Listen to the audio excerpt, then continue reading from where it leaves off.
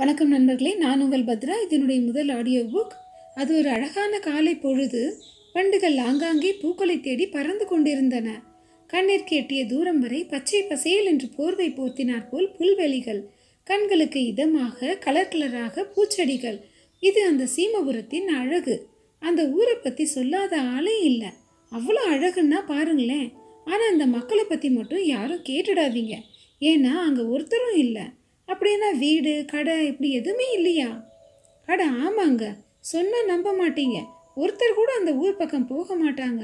அப்படி இருக்கும்போது நம்ம சொங்கி அண்ணாச்சி மட்டும் அந்த ஊர் பக்கம் குடும்பத்தோடு போக தயாராகிறாரு இப்போ யார் அந்த சொங்கி அண்ணாச்சின்னு நீங்கள் கேட்குறது எனக்கு புரியுது. நம்ம கதையோட ஹீரோ அந்த சொங்கி அண்ணாச்சி தாங்க. அண்ணாச்சிக்கு பெரிய குடும்பம். வயதான அப்பா அம்மா மூணு பிள்ளைங்க ஒரு பொண்ணு. இப்படி அவரோட அவர் மனைவியையும் சேர்த்து ஏழு டிக்கெட்டு இதில் பிள்ளைங்க மூணு பேரும் படித்து முடித்து அவங்க அவங்க வேலையை பார்த்து ஆளுக்கு ஒரு ஊரில் செட்டில் ஆயிட்டாங்க. பொண்ணுக்கும் கல்யாணம் பண்ணி ஆக்கி விட்டது. அந்த செலவுக்கு தான் வீட்டின் பேரில் கடன் வாங்கி அந்த கடனை ஒழுங்காக அடைக்க முடியவில்லை. பிள்ளைங்க ஒருத்தரும் பத்து காசு செலவு செய்ய மாட்டாங்க. அண்ணாச்சி சொந்தமாக ஒரு மளிகை கடையை நடத்தி தான் எல்லாரையும் கரை சேர்த்தாரு. இப்போ அந்த கடையும் கடனில் அப்பாவுக்கு கடைசியாக ஹார்ட் ஆப்ரேஷன் பண்ணப்போ வாங்கின கடனை திருப்பி கட்ட முடியாமல் போனதால் அந்த கடையும் போச்சு. அடுத்த வேலை செவத்துக்கு இந்த பய பிள்ளைங்க கிட்ட போய் கை கட்டி நிற்க முடியாது. பேசாமல் எந்த தொல்லையும் இல்லாமல் சீமபுரத்துக்கே போயிடலாம் என்றார் அண்ணாச்சி. ஆமாம் அங்கே தான் ஒருத்தரும் வர முடியாதே என்றார் அப்பாவி சுந்தரி அம்மாள். அவர்தான் அண்ணாச்சியின் மனைவி. ஏப்பா இப்படி வயசான எங்களை அந்த ஊருக்கு தான் கூட்டிகிட்டு போனோமா என்ன? வேறு எங்காவது தூரமாக போகலாமே என்றார் சீனிவாசன் அண்ணாச்சியின் அப்பா. பாவம் காது கேட்காத அண்ணாச்சியின் அம்மாவோ எதையோ பலமாக யோசித்து கொண்டிருந்தாள். தன் கணவன் சொல்வது என்ன என்று புரியாமலேயே மண்டையை மட்டும் ஆட்டிக்கொண்டிருந்தாள் பாருங்கப்பா எனக்கு ஒன்றும் ஆசை இல்லை. இந்த ஊரை விட்டுட்டு போக. ஆனால் என்ன செய்ய? இதுக்கு மேலே இங்கே இருந்தால் நமக்கு மரியாதை இல்லையே. வேற என்ன செய்ய சொல்லுங்க? அடுத்த வேளை சாப்பாடு மட்டும்தான் இப்போதைக்கு என் கையில் தேரும். ஒருத்தரும் எனக்கு வேலை தர மாட்டாங்க. இந்த பய பிள்ளைங்களுக்கு அந்த ஊர் தேவலாம்ப்பா அக்கம் பக்கத்தில் யாரும் அவர்களை போக வேண்டாம் என்று சொல்லவில்லை. பக்கத்து வீட்டு புஷ்பாக்கா மட்டும் வீட்டுக்காரரிடம் புலம்புகிறார். எப்படி இருந்த மனுஷன்? இந்த அண்ணாச்சி நாலு பிள்ளைங்களையும் சொந்த காலில் நின்று நல்ல கரை சேர்த்தாரு. ஆனால் ஒரு புள்ள கூட இப்போ அவருக்கு உதவிக்கு இல்லையே. பணம் படிப்பு பதவி இது ஆளையே மாற்றிடுமா என்ன? நாம் புலம்பி ஒன்றும் ஆக போகிறதில்ல இது அவர் குடும்ப விஷயம். நம்மளால் ஒரு நாள் பார்த்துக்க முடியும். இல்லை ரெண்டு நாள் அதிகபட்சம் ஒரு வாரம்.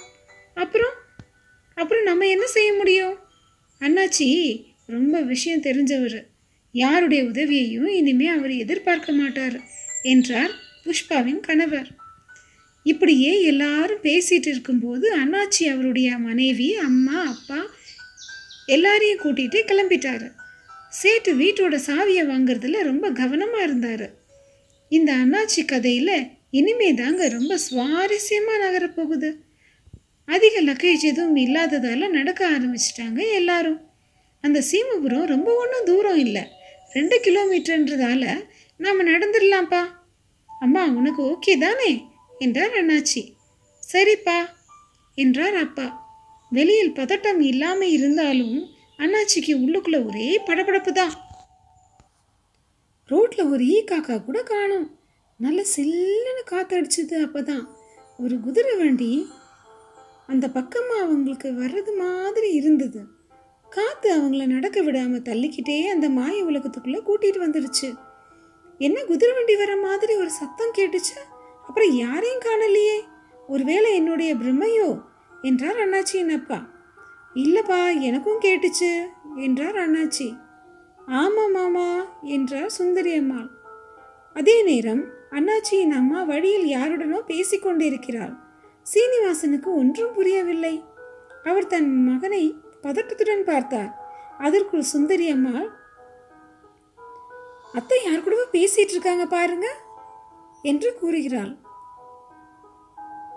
சற்று நேரத்தில் எல்லாம் அவர்கள் அவர்களுடைய அம்மாவின் அருகில் சென்று விட்டனர் அத்தே யார்கிட்ட பேசிட்டு இருந்தீங்க இங்க தான் யாருமே வரலையே என்றார் சுந்தரி அம்மாள் சத்தமாக.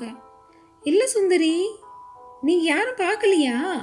ஒரு அழகான பையன் இப்பதானே குதிரை வண்டியில வந்தான் அவன் கிட்ட தான் பேசிட்டு இருந்தேன் அவர்கள் அனைவரின் முகத்திலும் பதட்டம் தொற்றிக் கொண்டது என்னம்மா சொல்ற?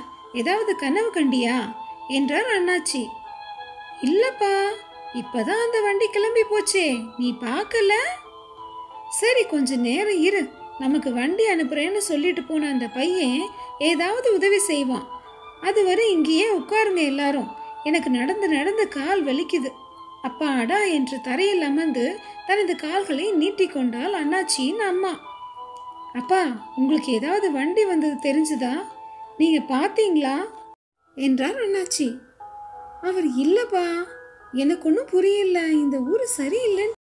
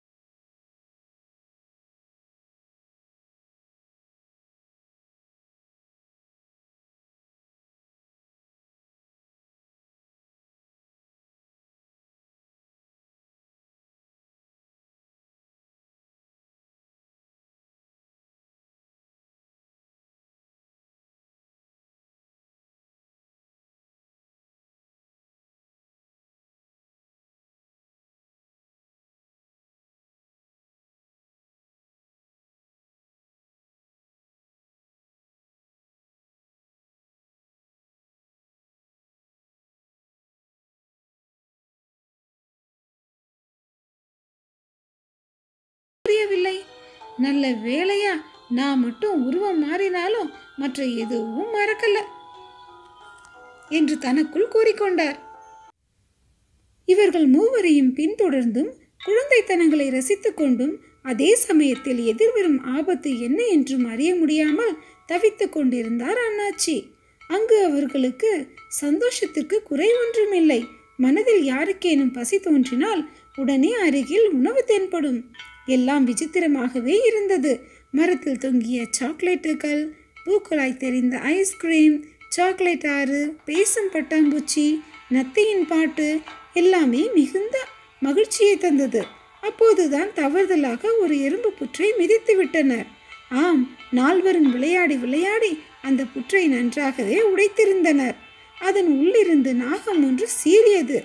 அது ஒரு அழகிய ஆணாக மாறியது. ஆமாம் நீங்க நினைக்கிறது சரிதான்.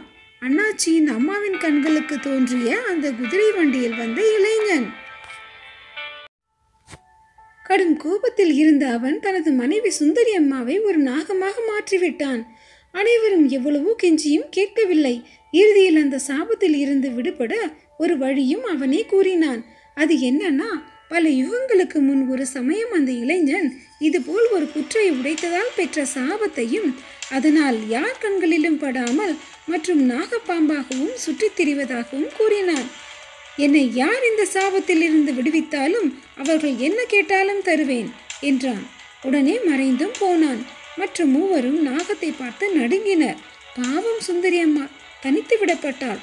யாராவது நாகத்தோட விளையாடுவாங்களா என்ன? இல்லதானே? இப்படியே அன்று இரவு முழுவதும் மூவரும் நடந்து கொண்டிருந்தனர். எப்படியாவது சுந்தரி அம்மாவை பழைய நிலைக்கு மாற்றிவிட வேண்டும் என்று நினைத்துக்கொண்டே அண்ணாச்சி நடந்து கொண்டிருந்தார். தொலைவில் ஏதோ அழுகுரல் கேட்பது போல் இருந்தது. மூவரும் அந்த குகையை நெருங்கினர். அண்ணாச்சிக்கு அந்த குகைக்குள் என்ன சத்தம் கேட்கிறது என அறிய ஆவல்தான். ஆனாலும் ஒரு பயம் உள்ளூர இருக்கத்தான் செய்தது. ஏற்கனவே சுந்தரியை பிரிந்து விட்டோம் இனிமேலும் யோசிக்காமல் எதையும் செய்ய வேண்டாம் என்று கூறினார். ஆனால் அப்பாவோ கஷ்டப்படுறவங்களுக்கு உதவி செய்யணும். அதுதான் மனுஷ குணம். அதை விட்டுட்டு இப்படி எல்லாத்தையும் போட்டு குழப்ப வேண்டாம்.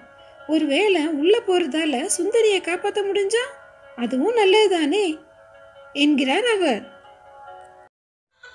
ஒரு வழியாக மூன்று பேரும் மெதுவாக பயத்துடன் குகைக்குள் நுழைகின்றனர். யாரும் தங்களை பார்த்திடாவன மெதுவாக குகைக்குள் அடியடித்து வைக்கின்றனர். அப்போதுதான் அந்த காட்சியை கண்டனர். அங்கு சிங்கமுகம் கொண்ட மனிதன் அழகான ஒரு தேவதையை சாட்டையால் அடித்து கொண்டிருந்தான். அவனுக்கு இரண்டு குரகு முகம் கொண்ட பணியாட்களும் இருந்தனர் மூவருக்கும் பயம் தொண்டை வரை அடைத்தது. பேச்சு வரவில்லை. அலறி அடித்துக்கொண்டு ஓட்டம் பிடித்தனர். அதுக்கு தான் முதல்லே சொன்னேன் போக வேணாம்னு. கேட்டீங்களா? பாருங்க அது மனுஷ உருவத்தில் உள்ள மிருகம். நல்ல வேலையா எல்லாரும் ஓடி வந்துட்டோம் என்று அண்ணாச்சி கூறுகிறார். ஓடி வந்ததால் அனைவரும் சிறிது நேரம் இளைப்பாற எண்ணினர். அப்படியே ஒரு அழகிய மரத்தின் நிழலில் உட்கார்ந்து உறங்கியும் விட்டனர். அண்ணாச்சியும் அவருடைய அப்பா அம்மாவும் சிங்கமுகம் கொண்ட மனிதனிடம் இருந்து தப்பித்தார்களா? தங்களுடைய பழைய உருவத்தை அடைந்தார்களா? சுந்தரி அம்மா தன் குடும்பத்துடன் இணைந்தாரா? இதையெல்லாம் நீங்க தெரிந்து கொள்ள தவறாமல் இரண்டாம் பகுதியை கேளுங்கள். அதுவரை உங்களிடமிருந்து விடைபெறுவது உங்கள் பத்ரா. நன்றி வணக்கம்.